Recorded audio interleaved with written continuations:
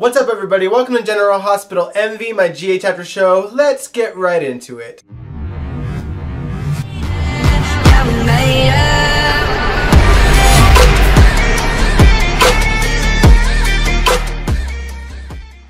Alright, let's kick things off by talking about the Cyrus storyline. Now, as you guys know, Taggart is very much alive and well, and he was in Port Charles with the intention of killing Cyrus, but Jordan managed to talk him out of it and told him to leave Port Charles.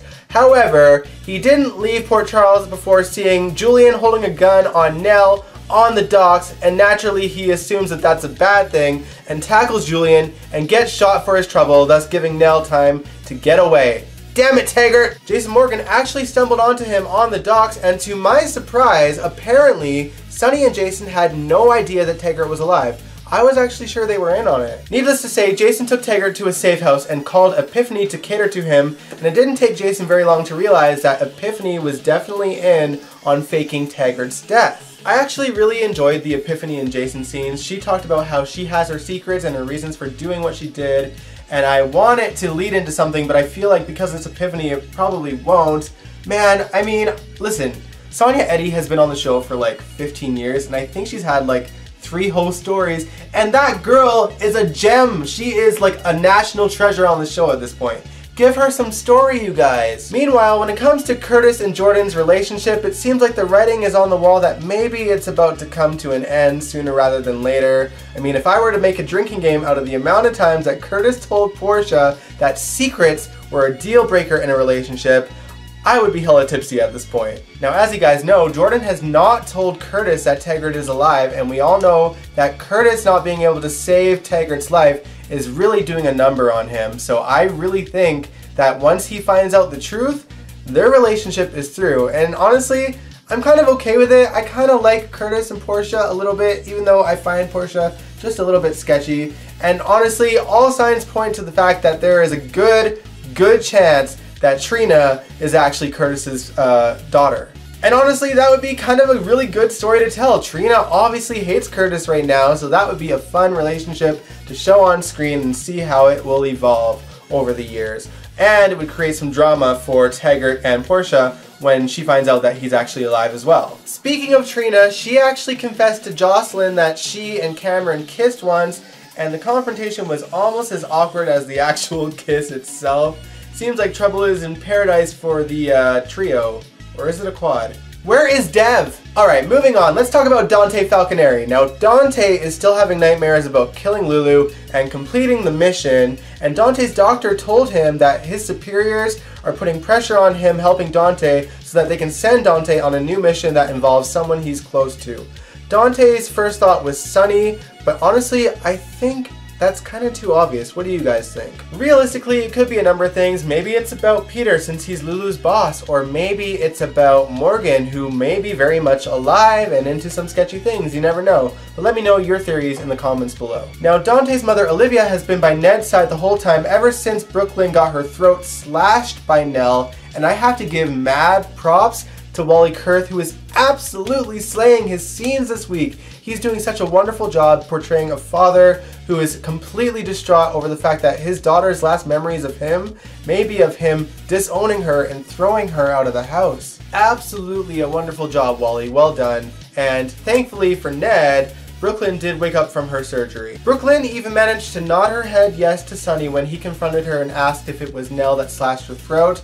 The doctors have been telling Brook Lynn that she cannot speak or it'll damage her vocal cords even more so. And I'm pretty sure that's going to happen because she used her voice to tell Michael that Nelle has a GPS tracker on Wiley, which sent him in her path, which is a good thing, so she's a hero, but obviously this is probably the way that they're going to have Brook Lynn never sing on the show again. R.I.P. Singing Brook Lynn.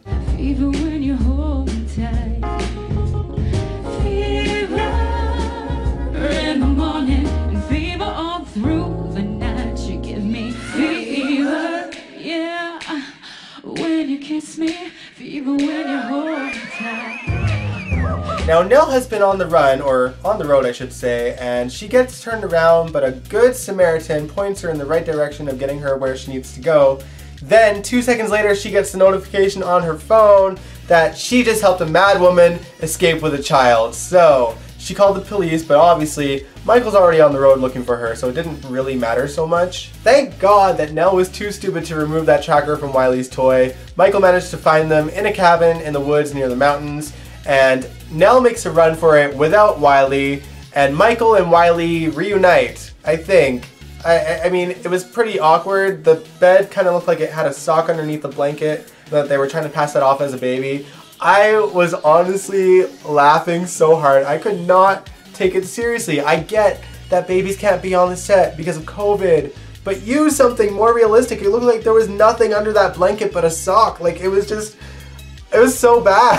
oh my god. Anyway, Carly and Jax showed up at the cabin as well, and Carly thought it would be a good idea to go after Nelle and chase her into the woods, and she manages to track her down, and I almost thought that Carly almost got through to Nelle, but then nope, and she attacked Carly and then ran off and nearly ran off a cliff. Carly actually managed to grab her to try and rescue her, but then Nelle fell anyway. Do I think she's dead? Hell no. But for some reason, despite all the experience Carly and Jax have of people dying and coming back to life, Jax thinks it is a good idea to not mention that Nelle went over the cliff and that Carly tried to save her because then it would look like murder.